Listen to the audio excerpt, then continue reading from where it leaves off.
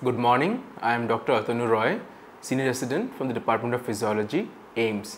Now this module will discuss about the sensations called as the taste and smell. The major objective of this module are divided into two parts namely the smell and taste. First we will discuss the smell and later the taste. Now let's talk about the smell. Now the main objectives of this module are understanding the basic structure of nose, olfactory epithelium and olfactory bulb. Second is the generation of sensation of smell and transmission pathways. Then we will be discussing about the abnormalities of the smell and finally the summary. Now let's imagine you are passing by an open drainage. What do you do? You run slow or run fast? You run fast obviously because the smell is unbearable. Contrary, near a flower shop, you are enjoying the smell and feel nostalgic about the first rose you gave it to someone you loved. So, what's interesting is to understand is that how a simple smell made an aversive response or brought you closer or took you down to the memory lane. To answer all these questions in this chapter, we will learn how the smell works. Now, let's understand the structure of the nose. The nasal cavity is divided into two segments, the respiratory segment and the olfactory segment. The olfactory segment is lined with a specialized type of pseudo-stratified columnar epithelium which is also known as the olfactory epithelium or they form the olfactory mucous membrane. Now it contains the receptors for the sense of smell.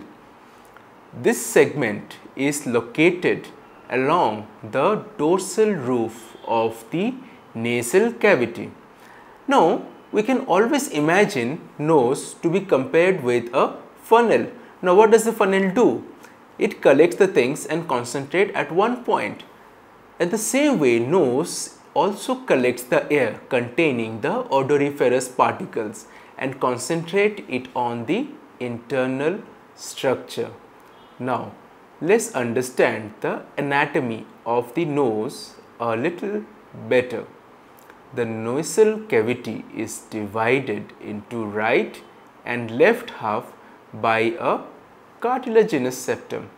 Now each half is divided into conchae on either side and at the roof of the nasal cavity and near the septum there is an area of olfactory epithelium which consists the olfactory sensory neurons. The rest of the nasal mucosa is respiratory function which responds to strong irritants by sneezing or lacrimation which is mainly due to the presence of trigeminal nerve ending. Now, the olfactory epithelium consists of basal cells and supporting cells. Supporting cells are also called as sustentacular cells. Now, basal cells replenish supporting cells which further differentiates into sensory cells.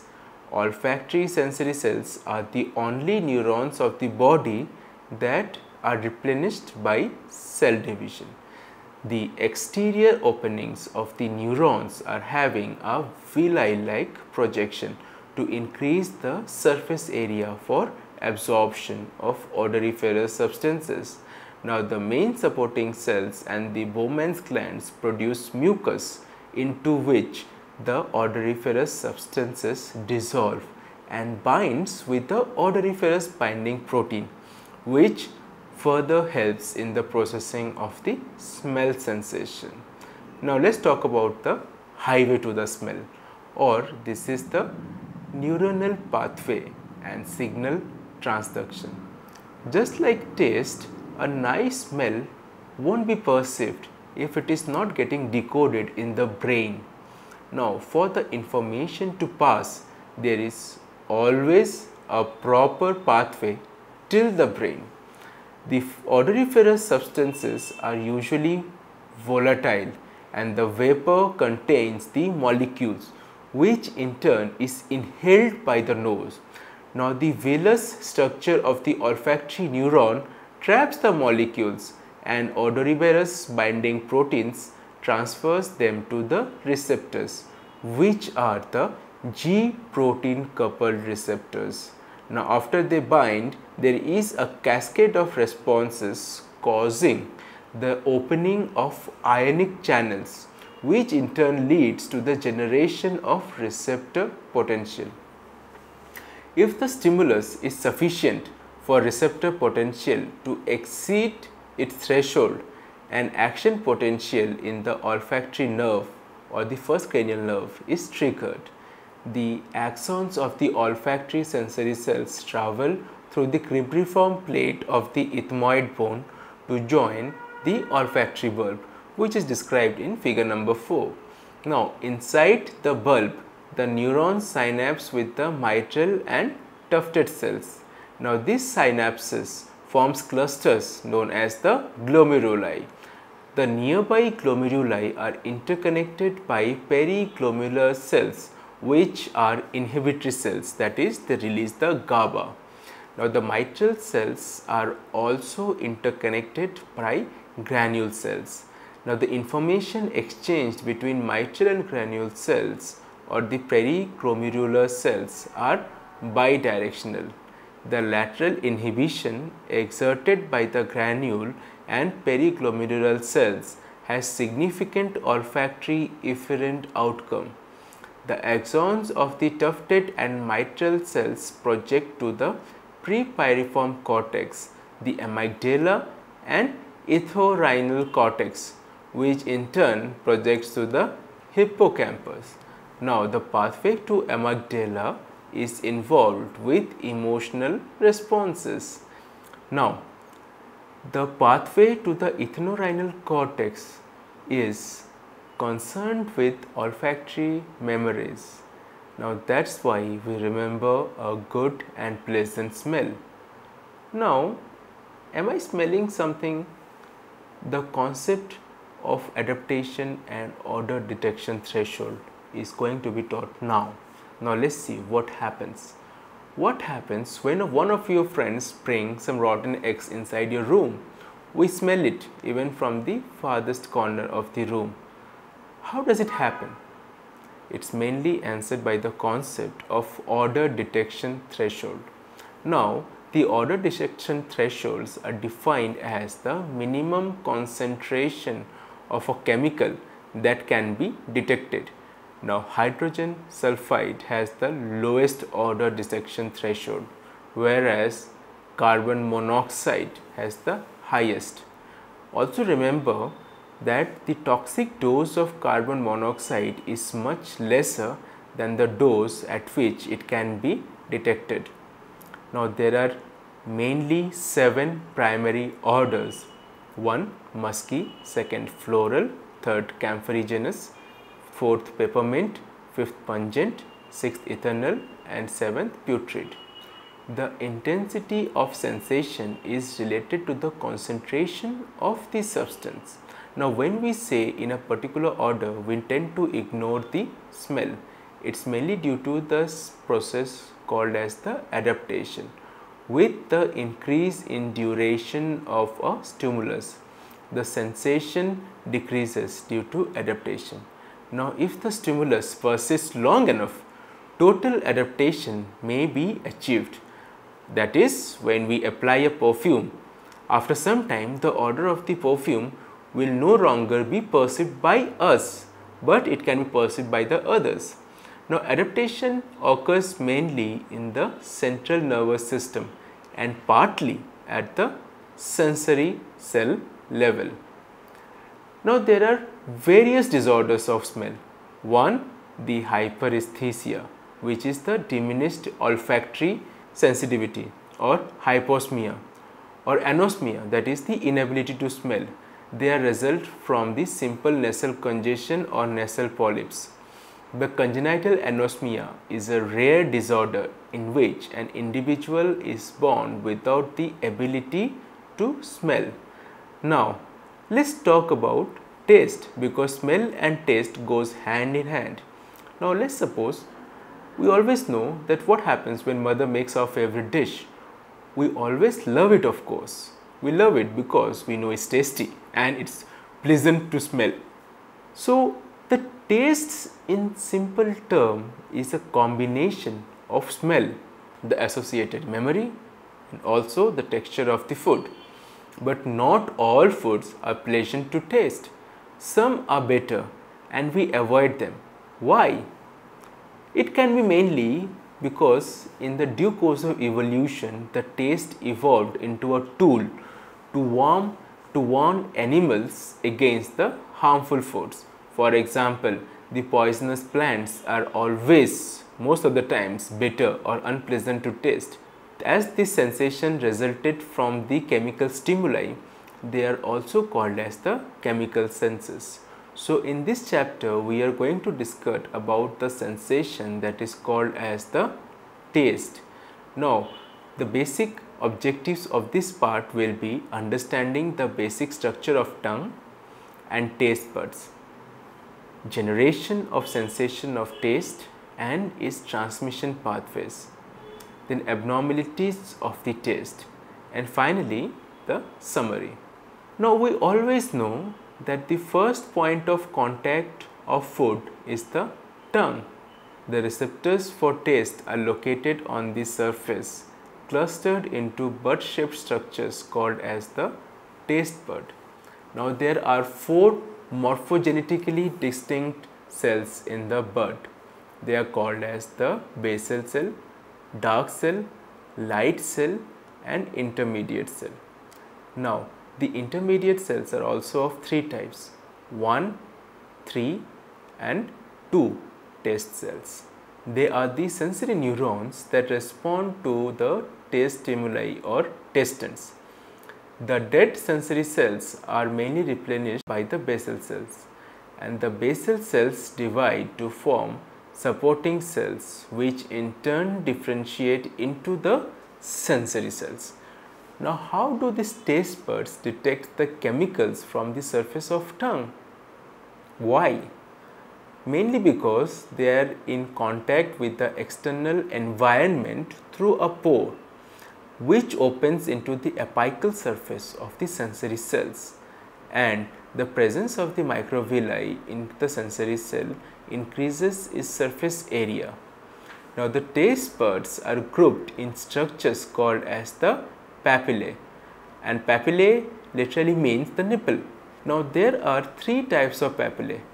The fungiform papillae which resembles a fungus which are rounded structures most numerous near the tip of the tongue and have 5 taste buds. Now next the circumvallate papillae. They are the prominent structures arranged in a V on the back of the tongue. Now the foliate papillae are leaf shaped and are on the posterior edge of the tongue. The arrangement of taste buds on the three types of papillae are also different and it is shown in figure number 1. The vallate and foliate papillae are also having von Ebner glands which are serous glands associated with them near the base. Now their secretions keep the surface of the tongue moist, prepares the tongue for a new tastant by diluting the chemical substance and wash away particulate matter from the tongue. The dilution may be of productive value in case of bitter and irritant substances. Now let's talk about tasting taste. Now the types of taste and signal transduction. We all know that all of us like sweets during festivals and a plate of golgappa or pani puri or fuchka with friends is always priceless. Even though we are constantly making new dishes but the basic tastes remain the same which are the sweet, sour, bitter, salt and fifth umami there are two major types of receptors that is the ligand gated channels or the ionotropic receptors and G protein coupled receptors or the metabotropic receptors. The salt and sour tastes are triggered by activation of ionotropic receptors. Sour, bitter and umami tastes are triggered by the activation of metabotropic receptors.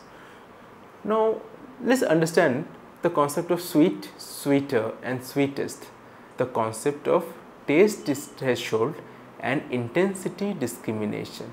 Now, what happens? The minimum concentration that is required at which a substance can be perceived is called as the taste threshold. Now, to detect the change of intensity, the concentration of the substance must change by 30 percent. It means that if a food is tasting sweet, just by increasing the concentration by 30 percent, it is perceived as sweeter. Glucose has the highest threshold concentrations to which the taste buds respond and bitters have the lowest threshold like the strychnine have a bitter taste. Now let's talk about the neuronal pathway or the highway to taste. Till now you have studied about the structure of tongue but it's of no use if you're not able to perceive the taste. Now let's understand how the taste is carried from the tongue to the brain. From the anterior two thirds of the tongue, the nerve fibers form the taste buds travel in chorda tympani branch of the facial nerve. The posterior third of the tongue is sensed by the glossopharyngeal nerve and the posterior most part is mainly by the vagus which all reach in the brainstem. Now they unite in the gustatory portion of the nucleus of Tractus solitarius in the medulla oblongata. From there, the fibers or the axons of second order neurons ascend in the ipsilateral medial lemniscus and they project directly to the ventral posto posteromedial nucleus of the thalamus. Now, the nerve fibers or the axons of the third order neurons from the thalamus pass to the neurons in anterior insula and the frontal operculum in the ipsilateral cerebral cortex which mediates conscious perception of taste and taste discrimination. Now let's discuss about the various types of taste abnormalities. Now we have dysgeusia or parageusia which is defined as unpleasant perception of taste that in turn causes a metallic, salty, foul or a rancid taste. Ageusia is defined as absence of sense of taste and hypogeusia as diminished taste sensitivity. They are mainly caused by the vestibular schwannoma, familial dysautonomia, Bell's palsy multiple sclerosis, infections, example primary amyloid meningoencephalopathy or this can be mainly due to the damage to the lingual and glossopharyngeal nerve. So, in summary we can always say that the main sensation that we have in our body is the taste and smell.